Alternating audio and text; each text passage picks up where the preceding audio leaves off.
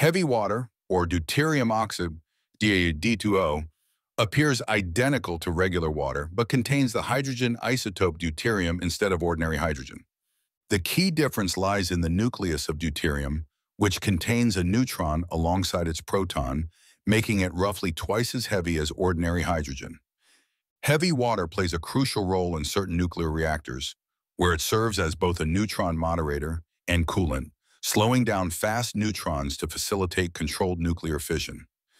The CANDU reactor design from Canada specifically utilizes heavy water's unique properties, allowing it to operate with natural, unenriched uranium fuel, unlike most other reactor types.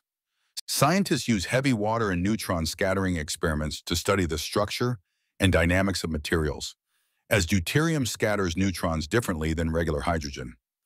In biomedical research, Heavy water serves as a non-radioactive tracer to monitor metabolic processes and study how water moves through biological systems.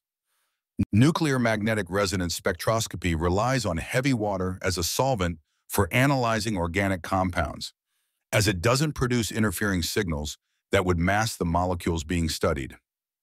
Producing heavy water is energy-intensive and costly, typically requiring multiple stages of distillation or chemical exchange to gradually concentrate the naturally rare deuterium from ordinary water. Future nuclear fusion reactors will depend on deuterium extracted from heavy water as one of their primary fuels, offering the promise of abundant energy with minimal radioactive waste.